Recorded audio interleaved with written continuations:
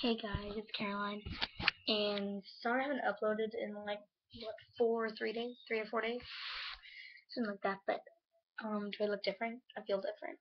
I'm officially a sixth grader. My fifth grade graduation was today.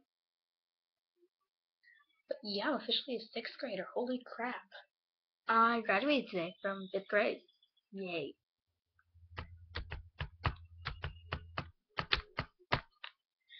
But I'm so excited about graduating because, you know, graduating's a big deal.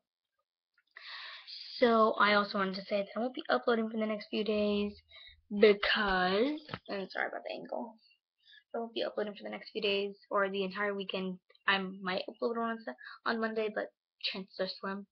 But I will be in the middle of the woods camping. Yay! I love camping, no joke. So when I get back on Monday, I might do a video, but I probably won't. I'll probably just do one on Tuesday to make up for the weekend. So just wanted to say a quick thank you to everyone and just say we're almost at 200, 100, I mean seriously 200 views. And I know it's not like subscribers or likes, no, but views are a big deal to me. Because it means that you